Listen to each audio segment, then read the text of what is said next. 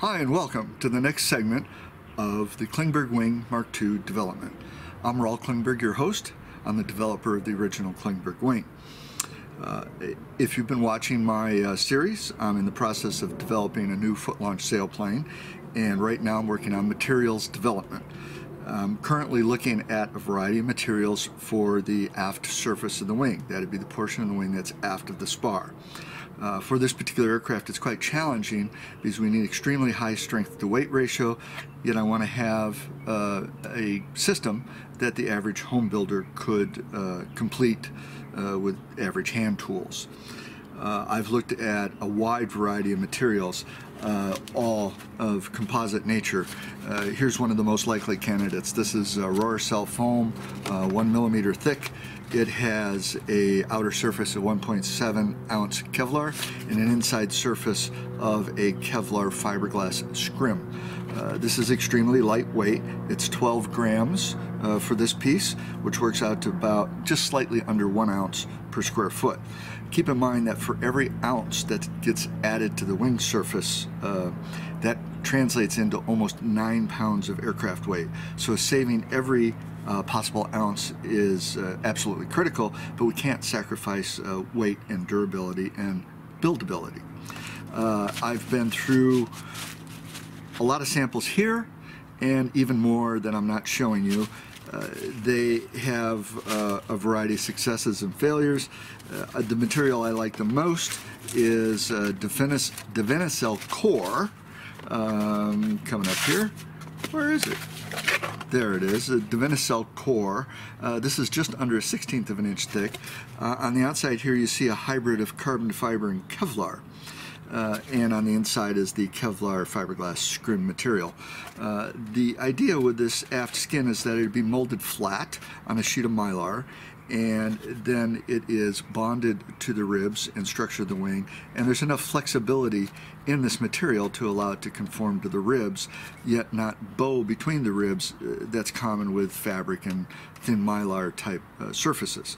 In other words you're going to get a surface that is almost equivalent to molded in female molds without the mold uh, which will help hold down on costs and make it easier for a home builder to complete. Uh, the major drawback that I've had with these materials is their durability issue. Uh, the Kevlar graphite dents uh, fairly easily. Uh, the uh, thin Kevlar on the Rohacell dents quite easily. It is strong enough and lightweight enough uh, but in my mind not quite durable enough for regular usage where you're going to be pounding around outdoors and possibly setting it down in areas that uh, would have sharp objects that would dent the surface. Uh, so uh, I'm taking an alternate look at 1 64th inch thick plywood. This is aircraft plywood. It's been around for a long, long time. Uh, it's built to, or it's manufactured to military specifications. Uh, it's extremely strong, and as you can see, it's uh, quite lightweight. Uh, equal size piece. Let's see the Kevlar here. Uh, the 1.7 ounce Kevlar with the scrim material and the Rohacell is 12 grams. Uh, this piece is 17 grams. So for a 5 gram difference, uh, we have a lot less uh, manufacturing work to go through.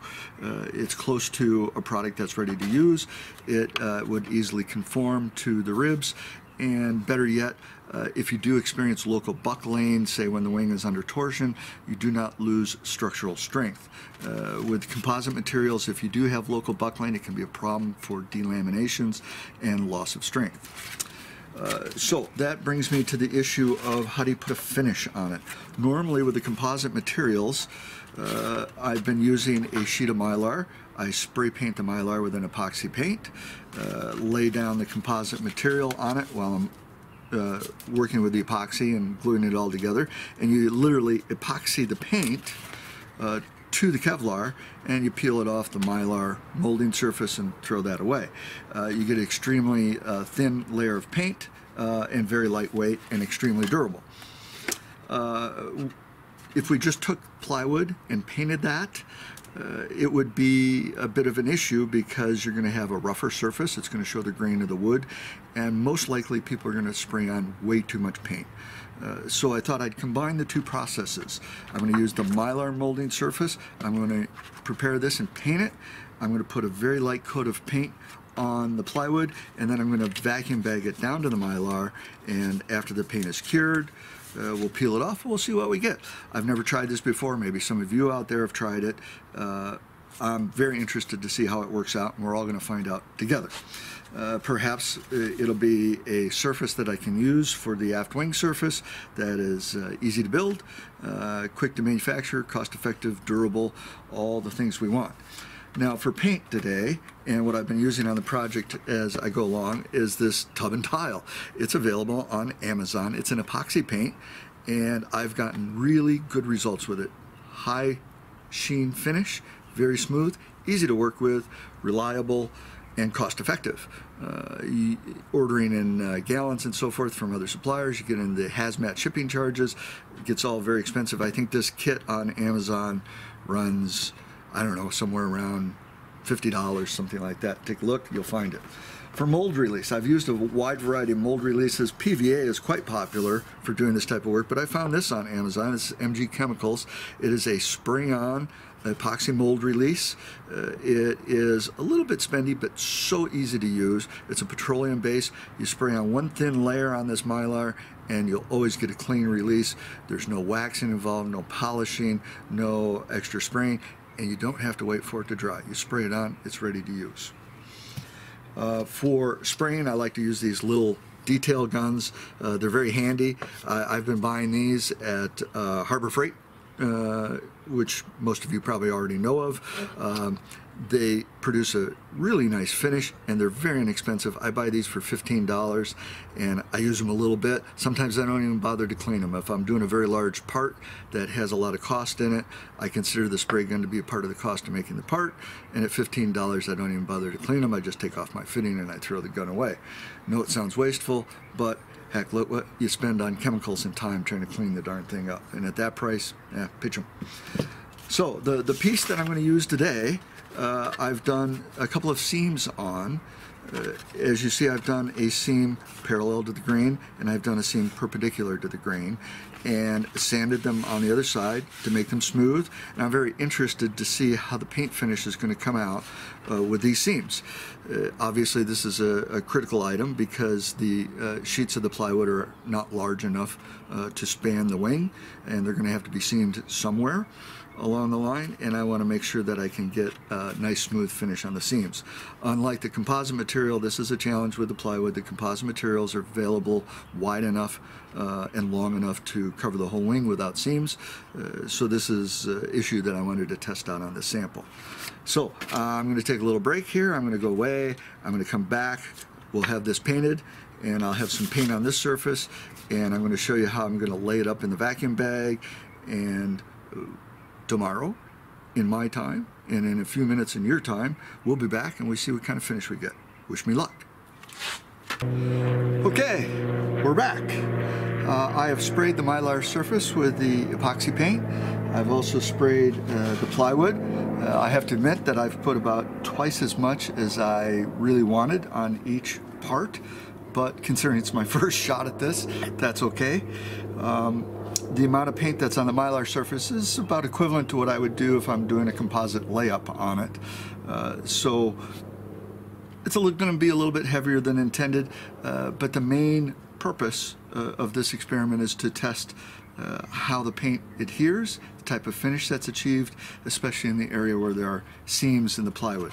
So these are still quite tacky. It's only been about a minute since I sprayed them, and I'm just simply going to place the plywood right on the mylar like that wiggle it around a little there to get some good adhesion. I'm going to vacuum bag this uh, to make sure we have a good bond. Uh, I pre-prepped my molding board here with some uh, vacuum bagging tape and this is always fun disconnecting this and for those of you that have back, vacuum bagged before this will be the boring part uh, for those of you who haven't well welcome aboard uh, so there's the tacky tape for the vacuum bag Here's the vacuum bag itself. Uh, I have to pull the fitting off here, off the other end. A little sticky. There we go, we got that. Okay, and uh, before I mess up entirely, we need a little bit of release material. And I'm back. As you see, I use only the most sophisticated uh, bleeder and breather material available, which is paper towels. Uh, you got to admit, you can't beat the cost on it. And the stuff works great. Uh, we don't really need a release layer on this. Uh, we're not really going to bond to the plywood. There's a little bit around a paint around the edges which will get stuck, but we'll just pull that off and sand it. It'll be fine. So let's get in the fitting for the vacuum bag pump. And we'll lay on the sheet of vacuum bagging material. This vacuum bagging material is kind of stiff. Uh, it's really only good for flat parts. And it's a little lower cost than the nice stuff that's conforms to all kinds of odd shapes. I just like to use this because of its low cost. Long as I'm making flat parts, this is good to go. So we got a fairly good seal there, uh, and I'm gonna. We'll be back in a minute, and we'll suck this down. Okay, and I'm back. Uh, we have the uh, vacuum pump hooked up, and make sure that this is stuck down well enough to start. Get that tight. Flip it on. Should be kind of quick. There we go. Paper towels are doing their job, bleeding the air out of the whole part. We got good compression of the plywood down to the mylar. And a few hours, three, four, five hours, tomorrow in my time, I'll be back and you'll get to watch me pull this off in real time and we'll all find out together whether this is a good part, bad part, good process, bad process. Uh, it'll be fun. It's, uh, to me, the fun part of the engineering process. And I'll see you then.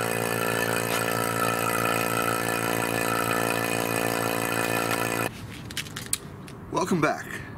It's the next day for me, and we're going to take a look at the results of yesterday's experiment. We'll do this the quick way.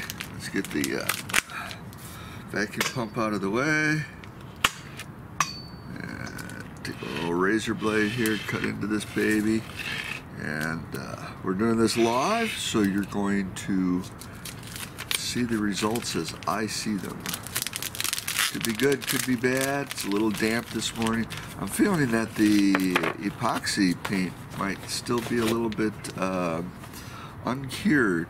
Well, the first thing that I see is a very uneven finish. Uh, the uh, vacuum bag in effect uh, squeezed the paint out. Uh, you'll see that uh, it ran up around the edges quite a bit and I feel that it's still tacky here on the breather layer of paper towel, uh, especially in the thicker areas, which is interesting. We might not actually open this thing up at this time. We might have to come back for an update later. The epoxy is still gooey here, and I think the best bet is to leave this closed up, and we're going to come back a little bit later and see what we have then. But I would expect that the results are less than spectacular uh, given the uneven uh, result that we can see here so far. So bear with me and uh, we'll come back later today to see what we got.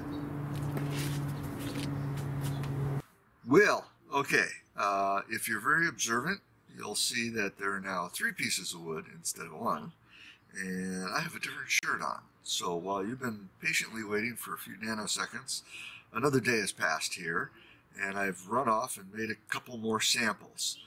And here's what I've learned. Probably the most important thing I learned is to follow the instructions.